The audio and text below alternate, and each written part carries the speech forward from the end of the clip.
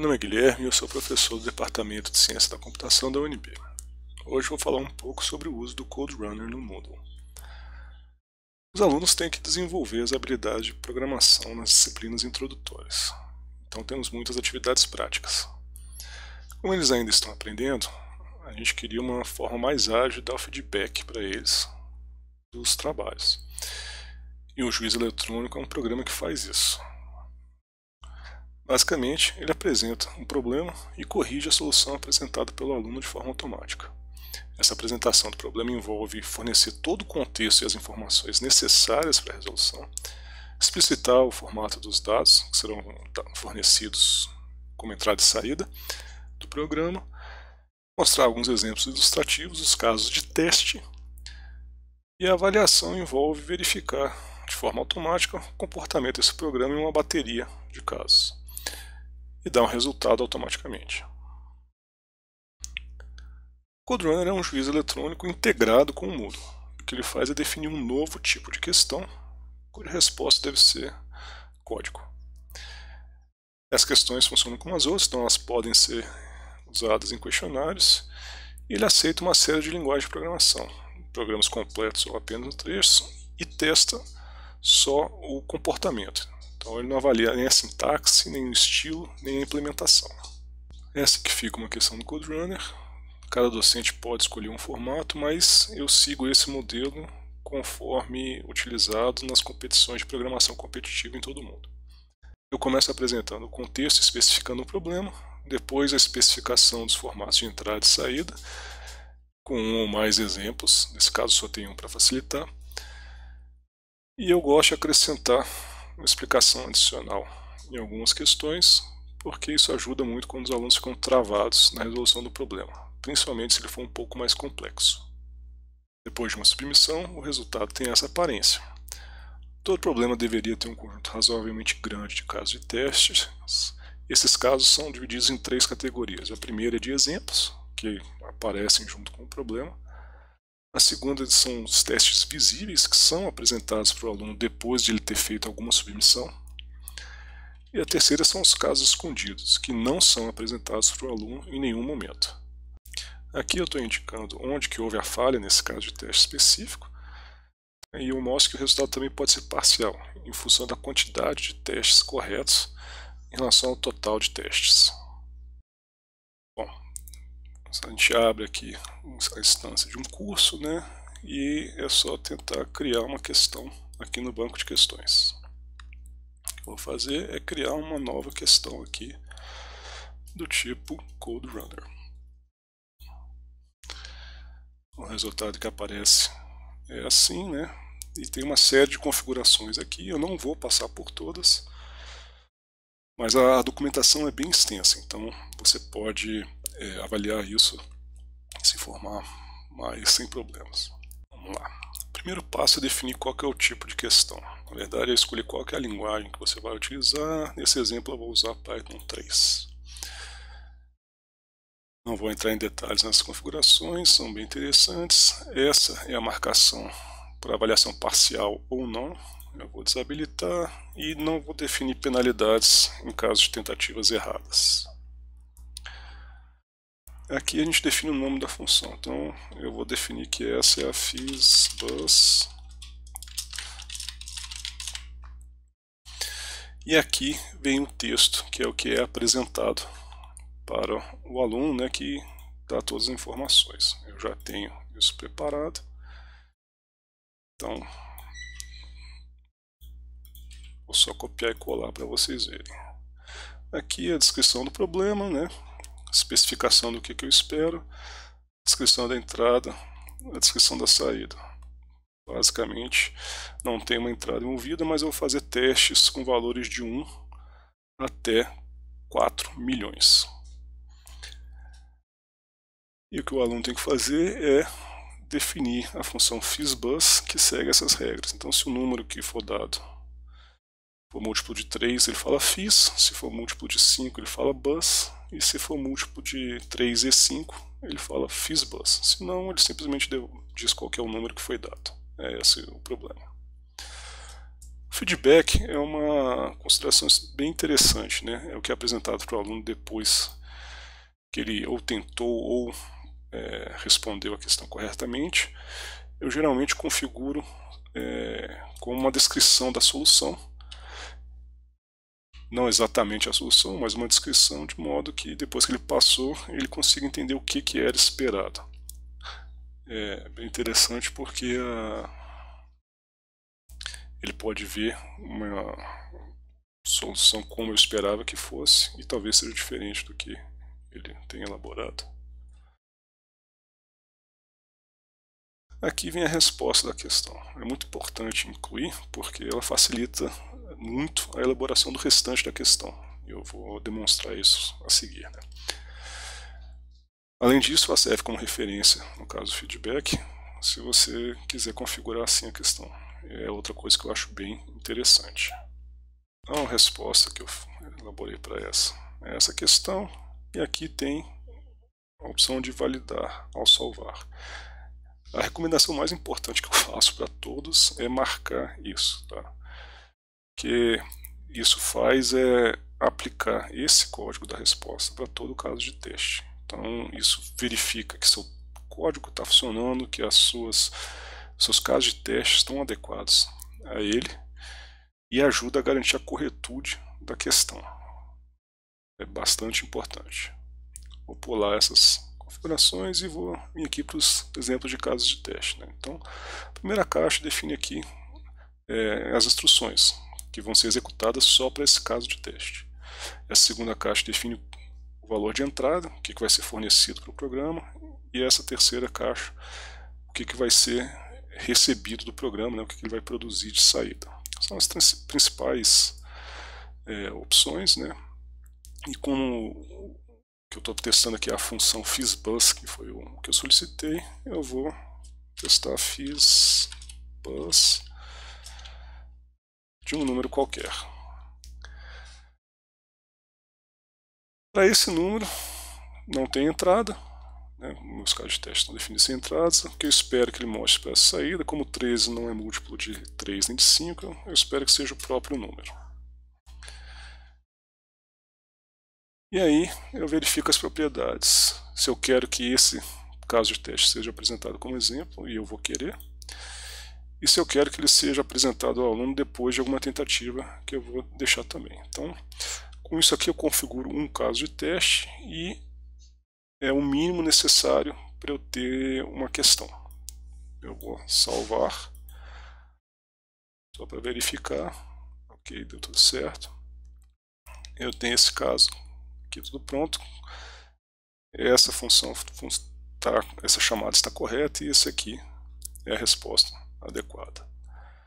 Então, para acrescentar um segundo teste, eu vou fazer mais opções, né? Volto para posição dele aqui. O segundo caso vai ser uma coisa mais interessante, mas eu vou aproveitar isso aqui para mostrar como que a, a, verificação com a resposta é interessante. Vou escrever o nome de uma função que não existe, só fiz, por exemplo, e eu vou botar uma saída que também é errada, só não essa entrada, né? A saída que é incorreto nesse caso, só para a gente testar. E aí vou salvar e continuar editando. O que ele faz é processar e me indicar, olha, alguma coisa está errada. O que, que é? No caso de teste 2, quando você tenta fazer isso, ele diz, olha, não conheço a função FIS. Ela não foi definida. É, é claro que a gente está testando o FIS2. Então, essa validação aqui me mostrou que eu criei um caso de teste errado. Eu posso vir corrigir. O nome da função é FISBus. Novamente tem algum problema. Qual que é? Erro entre o que é esperado e o que foi fornecido. Então eu recebi FIS aqui, mas eu falei que eu esperava o valor 7, que está errado. Alguma coisa está estranha. Então eu tenho que corrigir isso aqui. Na verdade não é 7, é FIS. Porque 9 é múltiplo de 3. E aí passou. Então eu já tenho agora dois casos que estão corretos. Eu vou marcar esse aqui também como exemplo. e vou, vou fazer um último. Eu vou marcar esse caso aqui também como exemplo. E aí vou acrescentar mais testes, porque o que eu recomendo são pelo menos 10 casos de teste, para você conseguir fazer uma coisa um pouco mais abrangente. Né? Então, fiz buzz de 9, aí é, fiz buzz de, por exemplo, 50. Fiz buzz de 15 para testar o caso em que ele é os dois. Fiz buzz de um número um pouco maior, por exemplo. E aí lembrando que os meus casos de teste, né, eu especifiquei que a entrada vai até 4 milhões, é interessante fazer é, testes de valores maiores também. Então, eu vou botar aqui mais testes de um valor bem grande, por exemplo, é,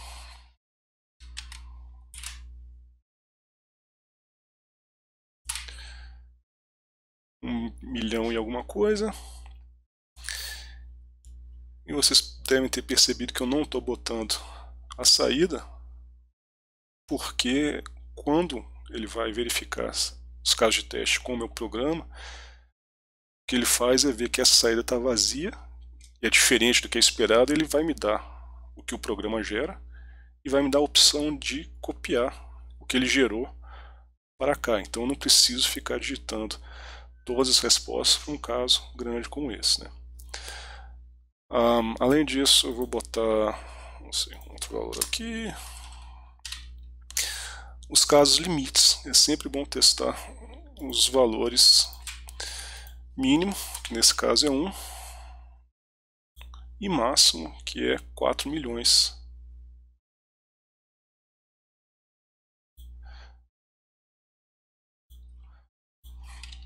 Quatro milhões para verificar se o programa realmente consegue passar por toda é, o espectro de entradas e processá-las corretamente. E um último caso aqui, por exemplo, é 99 mil. Então, eu vou aproveitar para esconder esse caso grande. Então, eu tornar esse caso de teste um caso escondido. Esse também e esse também. Eu sempre deixo pelo menos três desses casos escondidos para os alunos. E aí salvar as mudanças. Então ele aponta o erro porque eu não pus né, os valores. E aí aqui estão as respostas para cada um dos casos. Então quando é 1, um, eles, o resultado é 1. Um. Quando os números né, são números e não são múltiplos dos outros casos, ele define para mim qualquer resposta. Eu aproveito isso aqui para conseguir gerar sem precisar escrever tudo. Parece que não é muito útil para esse caso, porque a resposta é curta, mas depois eu vou mostrar um exemplo onde a resposta é bem longa, e isso faz muita diferença. E por fim, eu vou acrescentar os tags aqui, os rótulos que servem para você filtrar essas questões no banco na hora que você quiser, por exemplo, gerar um, um teste aleatório. Então, é, eu sempre boto qual a linguagem de programação utilizada, eu sempre boto qual é o nível né, da, dessa questão, então esse é um nível fácil. E a gente pode botar a, qualquer outra coisa que seja interessante para servir como filtro. Né? Por exemplo, qual é o conceito envolvido, talvez a string, ou é, ordenação, ou qual seria a abordagem da solução, digamos, programação dinâmica. Dinâmica. É, mas esse caso, como não envolve essas coisas, vou deixar só esses caras mesmo. E salvo. Então, até agora eu tenho a questão que eu acabei de criar. Né? que eu consigo visualizar e ela fica dessa forma. Problema, os exemplos e como faço para verificar. Bom, agora eu vou mostrar a mesma ideia, mas mudando a forma do teste para usar a entrada. Eu abri uma questão que eu já tinha pronta, ela é praticamente a mesma questão que eu fiz antes, né? mas o, programa, o problema é um pouquinho diferente. Ele tem que fazer um programa completo que vai ler o valor e aí mostrar é, toda a sequência do que tem que ser dito até esse valor n. Aí nesse caso eu diminui um pouco a entrada para não ficar muito grande. Então n, a entrada vai ser um número de 1 até n e a saída vão ser n linhas, cada uma apresentando o que deve ser dito para cada um dos elementos da sequência numérica do FISBUS. Aqui a nota explica né, o que está acontecendo no primeiro exemplo para tentar reforçar o que, que eu estou esperando do aluno. Esse é o programa de resposta, sempre marcando para validar. Primeiro caso, não, não é uma instrução de código, é um valor de entrada. Então, estou dando o valor 5, o aluno tem que ler esse valor e apresentar toda a sequência de 1 até 5 usando o FISBUS, que é esse caso. Esse primeiro exemplo esse primeiro teste vai de exemplo. Depois, o número 2 de entrada, ele tem que mostrar um 2 só. Esse eu não vou botar de exemplo. E aí eu crio mais 10 outros casos. E aí sempre ao final, por exemplo, 79, eu escondo esse caso, né? não vai ser apresentado. E os valores limites, 1 e 100. E aí esse aqui é um exemplo de como o a parte de validação pode ser útil. Eu não botei a saída esperada, é muita coisa para ficar digitando, mas eu posso aproveitar a estrutura do programa para ele gerar para mim. Então ele reclama que o caso de teste 10, eu falei que não ia ter nada, mas tem toda a sequência até 10, até 100. E é por isso que eu falei que é interessante ter, usar essa, essa abordagem. Então copio daqui para o que é esperado, ele ajusta a questão. Botando todos os casos aqui para mim na saída até o centésimo. Escondido como rótulo Python e abordagem média, salva mudanças, as mudanças e agora tenho mais uma questão pronta, um programa inteiro. Voltando aqui para a apresentação, eu vou falar um pouco das dificuldades de incorporar essa ferramenta. Para os docentes, é um jeito diferente de elaborar questões, não só porque o formato é mais restrito, mas também pela necessidade de como apresentar as informações que ela precisa ser autocontida. Além disso, é, o uso desse tipo de questão implica que não vai ter um professor explicando algum mal entendido ou corrigindo alguma coisa que esteja mal escrita nela. Então ela tem que estar toda correta e tem que ter todas as informações que o aluno precisa para resolver o problema. A avaliação em cima do comportamento do programa. Então não se olha com o que, que o aluno estava pensando, o que, que ele estava tentando fazer, se ele só esqueceu um ponto e vírgula, se quase funciona ou não. A avaliação é muito simples, ou funciona completamente, ou então não tem nota. E isso pode ser um problema na avaliação algum, do ponto de vista né, de alguns professores. Além disso, ela é feita em cima, novamente, né, em cima do comportamento e não sobre a implementação do aluno. E isso pode causar dificuldades para avaliar certos conceitos. É, por exemplo, se você quiser avaliar os conhecimentos de um aluno sobre recursão, mas ele resolveu o problema de forma interativa, né? então ele está resolvendo o problema, ele está conseguindo o resultado correto, ele vai ser aprovado na questão, mas você não vai estar avaliando o que você queria antes. Então, isso pode ser um problema, mas dá para contornar na forma como você elabora e principalmente como você testa a questão. Quanto aos alunos, muitos têm dificuldade de se adaptar à ferramenta, mas depois eles acabam se acostumando. Eles reclamam muito dos testes escondidos, acham injusto não terem acesso a isso, mas é explicar que faz parte da avaliação né, e que é necessário que haja esse tipo de caso.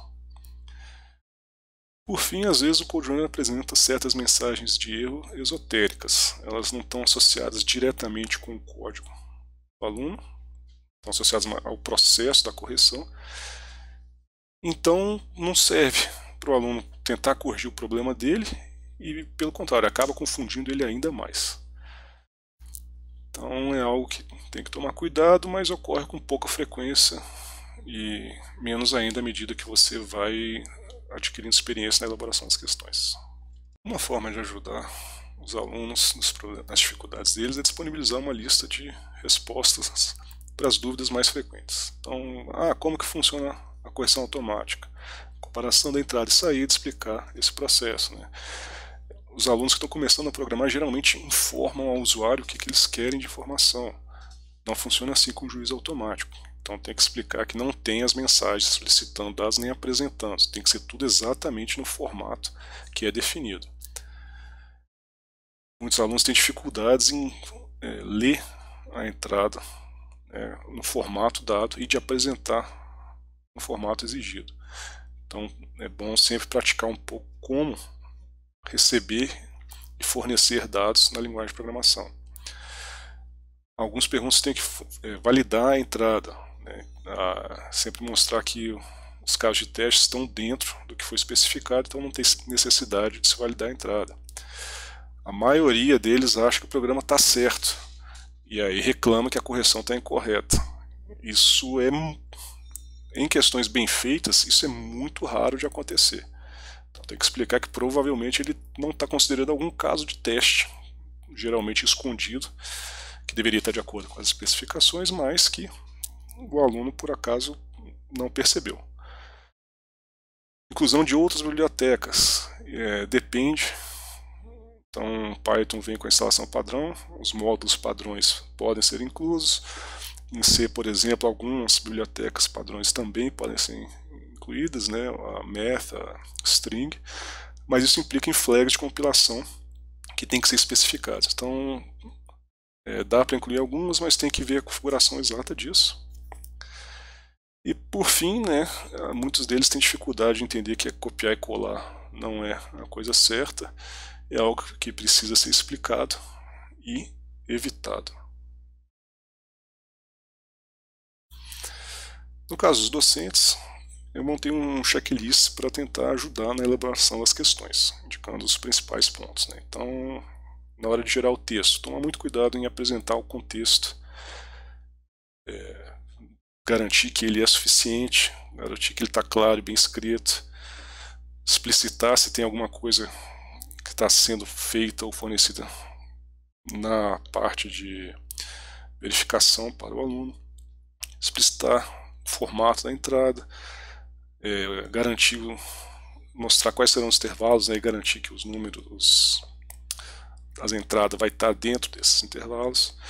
Tem que tomar muito cuidado com o tipo de dado, né, a forma tem uns problemas de precisão aí, de memória.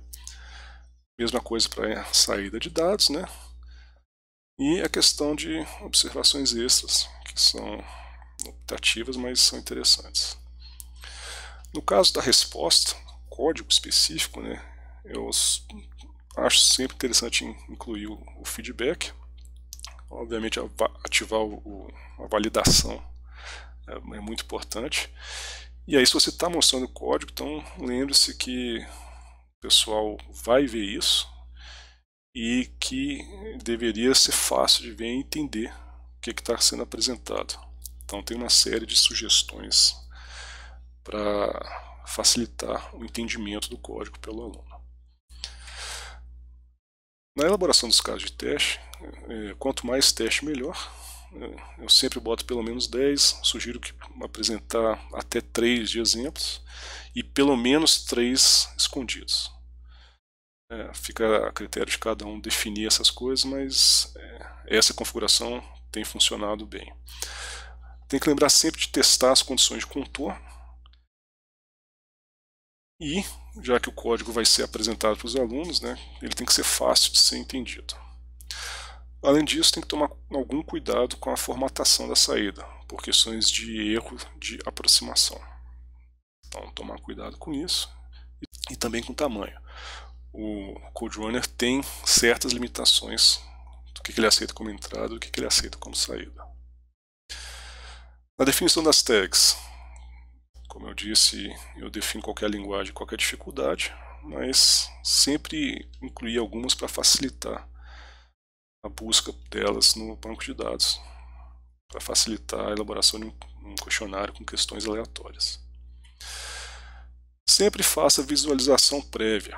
Isso permite que você veja a questão como um todo, como ela vai ser apresentada para o aluno. Então, é uma chance de você olhar tudo que você fez para tentar garantir que o trabalho está completo e bem feito. Depois que você fez tudo isso, pede para alguém revisar. Por mais cuidadoso que você seja, por mais diligente, sempre passa alguma coisa errada. E aí é sempre bom ter alguém conferindo o que você fez. Bom, concluindo, o CodeRunner é uma excelente ferramenta, né, funciona muito bem, os alunos reclamam no começo, mas depois gostam. E é necessário um grande esforço de preparação do banco de questões. Dá bastante trabalho elaborar as questões, formatá-las corretamente e em quantidade suficiente. Então, é um investimento pesado, mas uma vez que você fez isso, né, o esforço para reutilizar é mínimo. Então todo esse custo é amortizado nas iterações subsequentes da sua disciplina. Com certeza vale a pena. Espero que vocês tenham gostado. É, qualquer dúvida pode tentar entrar em contato comigo aqui no meu e-mail. E boa sorte utilizando o CodeRunner.